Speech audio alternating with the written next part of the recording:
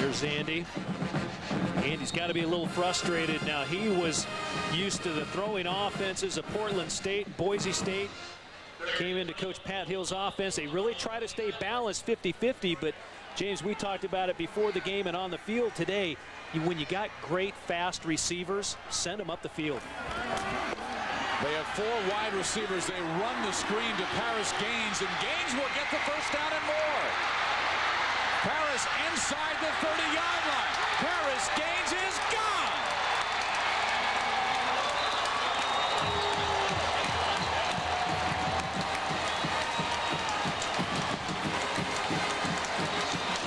Third down and 12, and you get 73 and 6. Great execution by Fresno State.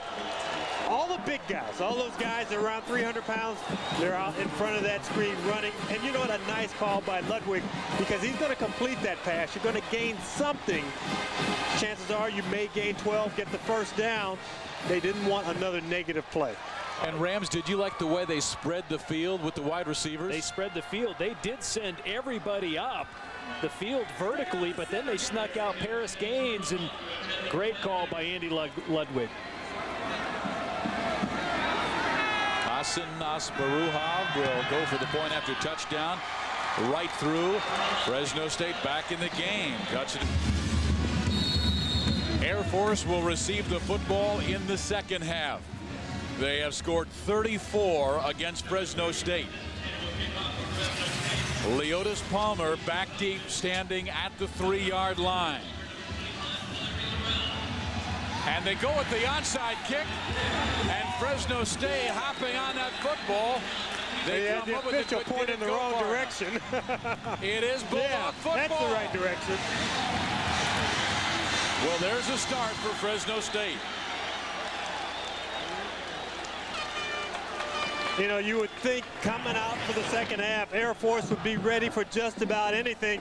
Well, they weren't thinking they were going to get an onside kick. Executed very well. That's caught right at about 11 yards, right along the boundary.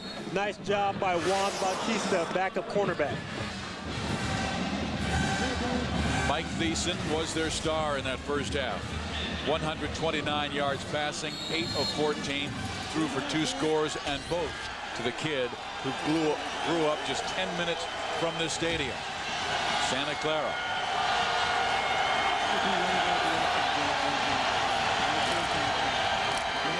The fullback, Becker carries, or the fake to the fullback, and they will sweep it to McKay, Fresno State with their best defense, really in a while.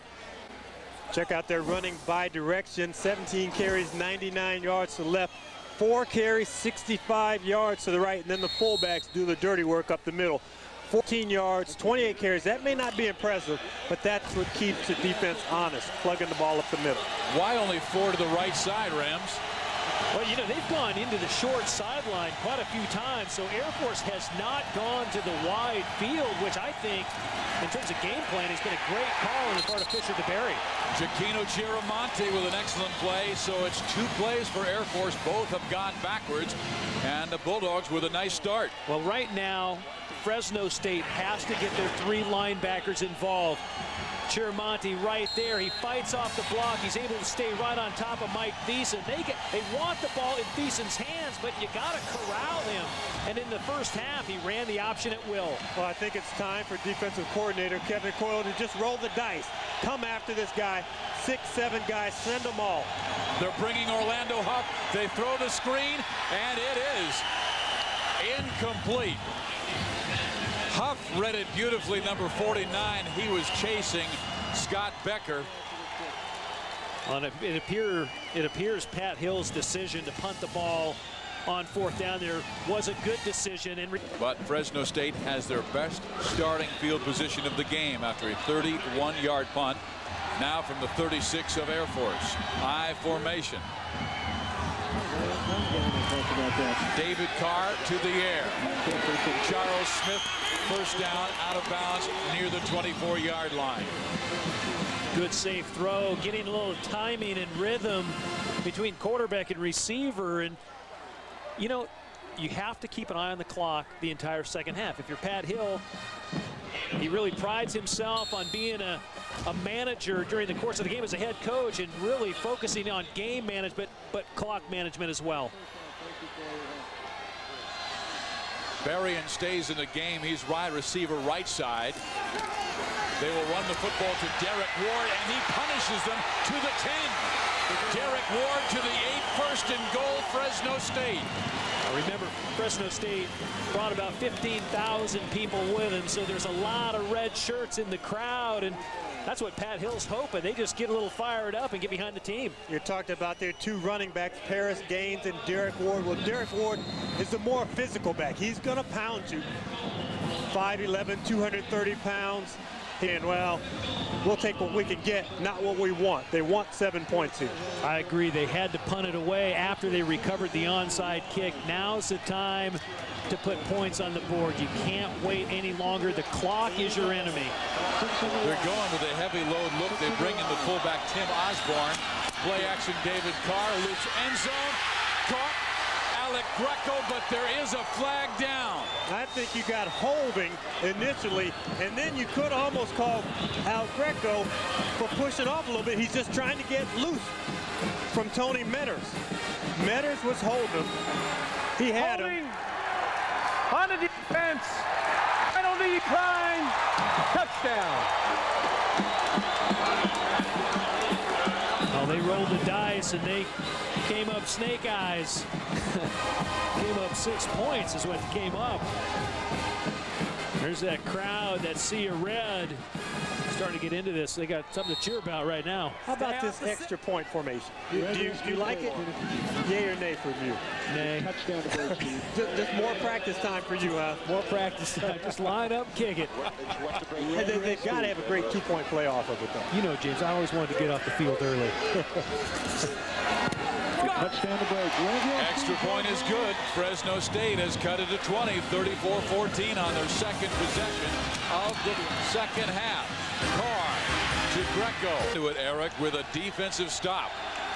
Again, they had the Falcons going backwards on their first offensive possession of the second half. Thiessen, option, again they go backwards. They stretched out beautifully, and again it was Giacchino Chiaramonte. Well, guys, tomorrow the Tremendous speed. I saw him at practice the other day. I picked him up. I said, JD, you put on a couple of pounds. he can still run a better 40 time than you. I know that. Don't rub it in. Alan Harper.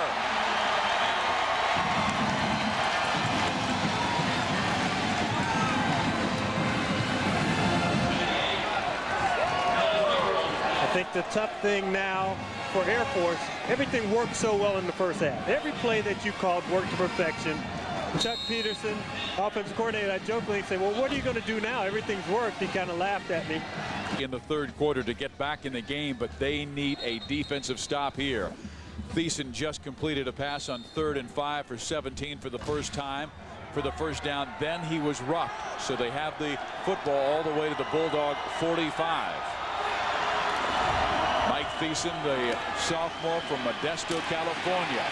He was tackled by Tim Skipper, smallest linebacker in college football at five feet seven.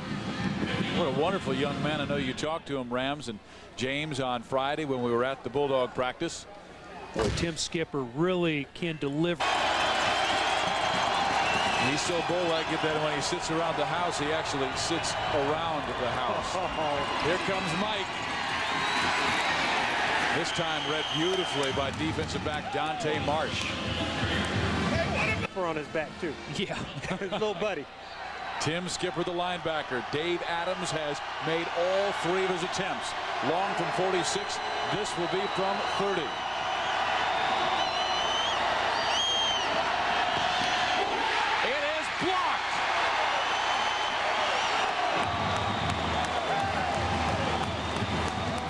DeBerry took his hat off and slammed it to the ground. Still, Air Force leads by 17 with just inside 11 to go.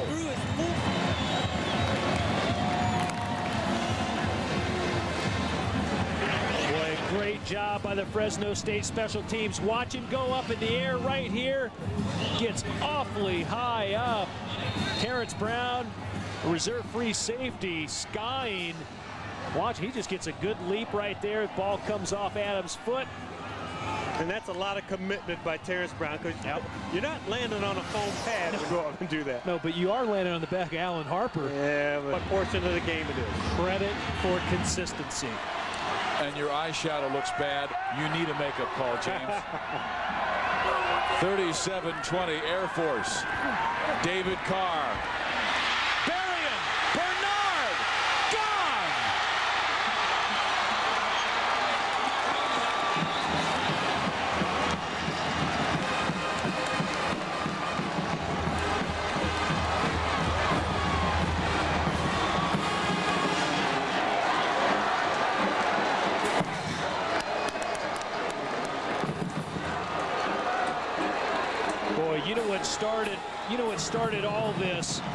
When Fresno State blocked that kick. That was their seventh block this season.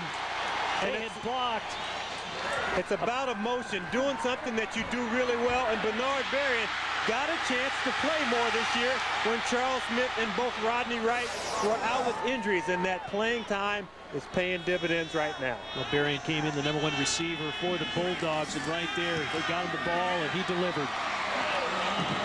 Fresno State has cut it to 10. They still have 9.58 left in the big arm of that young man, David Carr. Fisher DeBerry said the keys win the kicking game, win time of possession, win turnovers, win penalties. They have done all but the kicking game in the second half. He might be gone again. He is.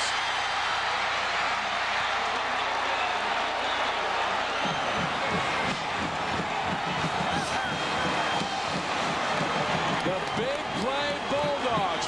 51 from David Carr to Brad Berrian, Bernard Berrian.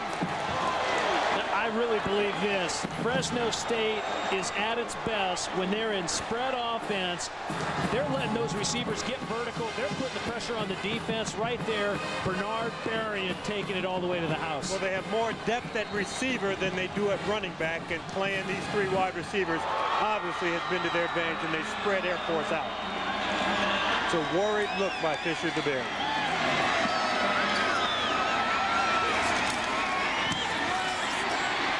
Good. Can you believe this? Fresno State down 34 to 7 at halftime. And they are right back in it with six and a half minutes left. Carr to Berrian. 51 yards later, the Bulldogs believe. Back up inside. If they got that fullback dive working, the rest of that offense is working. Beeson pitches. Brown. Nothing. And look at the emotion after the tackle. This is great college football. I would love to be able to go in one of those big old needles that they send in your body and suck some of the adrenaline out of the Fresno State players and then suck a little bit out of the Air Force players. The Fresno adrenaline meter is a little higher than the Air Force meter right now. Brian Fleming right now third and nine for the Falcons. Ryan Fleming right side. Will it go the big guy's way? Stason is sacked. Timeout. He may be out of Timeout. field goal range. Timeout is called with 147. Who's the player that ran up to the referee and called timeout? Tim Skipper. Tim Skipper, the defensive leader of that Bulldog defense, the heady veteran senior. He's been all WAC three years in a row. Really the heart and soul of that Bulldog defense. This year has been from 43.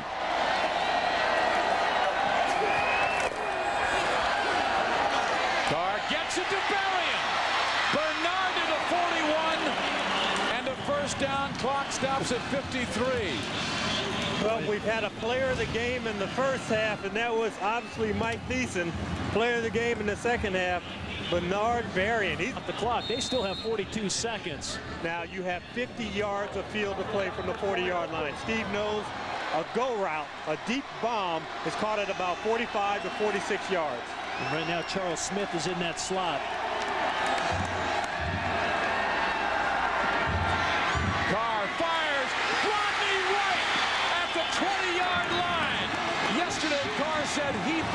The best slant route runner in college football. Get down near the red zone. I always Silicon Valley Football Classic we've had. Now from 33 yards out. Asparuhov.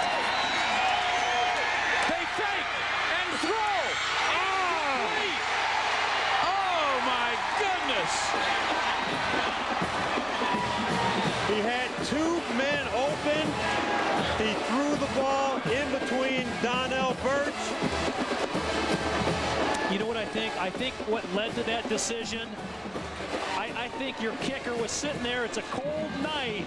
I No. don't, A, I don't think he was prepared for it. Sure. I mean, otherwise, put it through the uprights. They did have two guys wide open.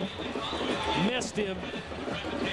Chiaramonte, the linebacker who, the, who, who was the up back, but you're asking a guy who doesn't throw the ball ever. Jason Simpson, the punter. You know what? And look at Donnell Birch saying, I was so Find wide open. target. Find the guy who's, uh, you know, 6'5", 300 pounds, who used to be a wide receiver. Know your personnel. Know your personnel.